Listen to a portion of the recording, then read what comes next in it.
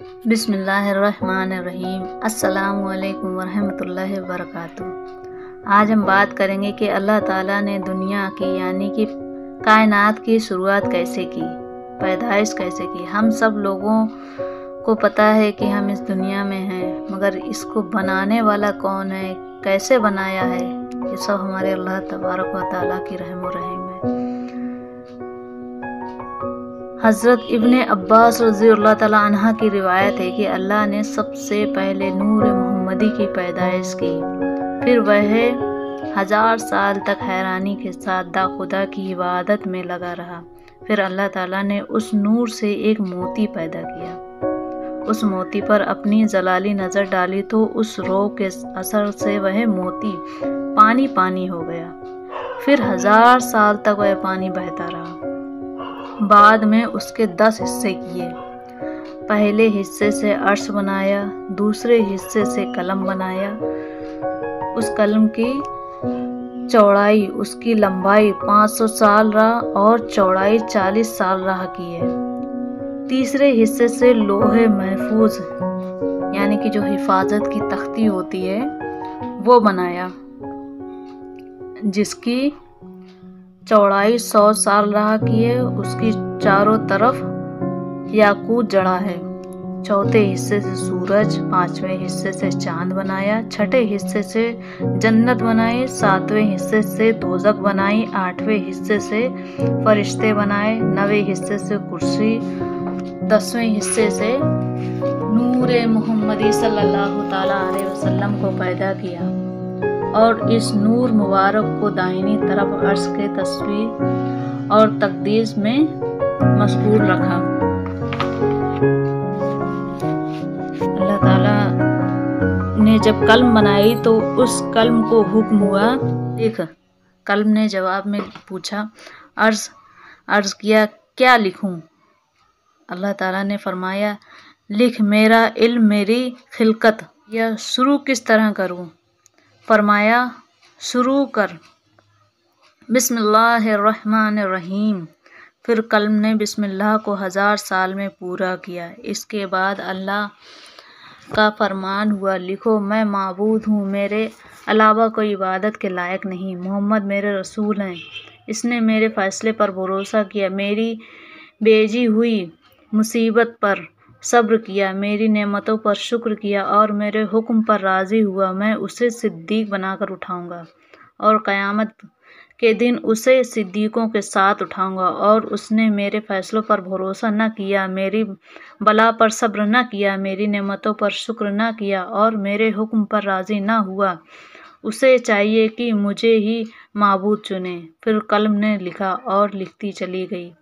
यहाँ तक कि लिख डाला वर्षा की बूंदों को, पेड़ों के पत्तों को, रेगिस्तान के रेतों को और क़यामत तक जो जो होने वाला है, लिख, सब कुछ लिखती चली गई। लिखते हैं कि जब कलम ने मोहम्मद सल्लल्लाहु अलैहि वसल्लम का नाम सुना तो अर्ज़ किया कि, ए खुदा, तेरे जैसा और बराबर का कोई नहीं, फिर यह किस बुज़ुर्ग का नाम है? आवाज़ आई कि यह नाम मेरे हबीब का है। वह मखलूक ख़ास है। अगर मैं उसे पैदा न करता तो मेरी कुदरत ज़ाहिर ना होती। कलम ने जब यह आवाज़ सुनी तो हैबत से उसका सीना फट गया। रिवायत किया जाता है कि लोह हरकत में आती है। हरकत में आई कि मेरे जैसा कोई नहीं। क्योंकि मुझ पर खुदाई इल्म लिखा गया है। आवाज़ आई, अल्लाह ही है जिसे चाहता है मिटाता है और जिसे चाहता है रख। दसवें हिस्से से नूर मोहम्मद सल्लल्लाहु अलैहि वसल्लम को पैदा किया और इस नूर मुबारक को दाहिनी तरफ़ अर्श के तस्वीर व तकदीस में मशगूल कर रखा। रिवायत है कि कुर्सी के नीचे याकूत का एक दाना पैदा हुआ। ऊंचाई और चौड़ाई उसकी 500 साल की रहा है। उस दाने पर अल्लाह ने नज़र की। हैवत से वह खुद ब खुद पिघल कर पानी पानी हो गया। इसके बाद दखनी उत्तरी हवा को पैदा करके हुक्म हुआ कि तुम चारों कोनों पर इस पानी के मौज करो। झाग निकालो तो उसकी कुदरत से आग पैदा हुई। वह पानी पर गई। उसका धुआँ निकलकर कुर्सी और पानी के बीच में हवा पर लटक गया। इस धुएँ को अल्लाह ने सात पारा किया एक पारे से पानी का आसमान, दूसरे से तांबे का आसमान, तीसरे से लोहे का आसमान, चौथे से चांदी का, पाँचवें से सोने का, छठे से पारा मरवा रीद का और सातवें से याकूत का आसमान हुआ।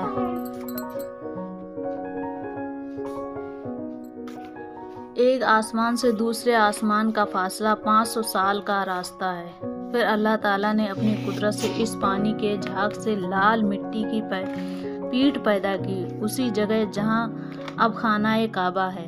हज़रत जबरील, मिकाइल, इसराफील और इसराइल सलाम को हुक्म हुआ कि चारों कोनों इस मिट्टी को फैला दो। उसके फैलाने से यह ज़मीन हुई।